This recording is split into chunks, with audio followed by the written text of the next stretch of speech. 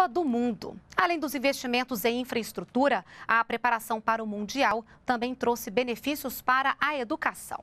A presidenta Dilma Rousseff afirmou por meio de sua conta pessoal no Twitter que somente em 2013, mais de 49 bilhões de reais foram transferidos para a área de educação das 12 cidades sede. Além disso, também foram investidos cerca de 7 bilhões de reais em financiamentos estudantis e mais de 2 bilhões de reais no Pronatec, o Programa Nacional de Acesso ao Ensino Técnico e ao Emprego.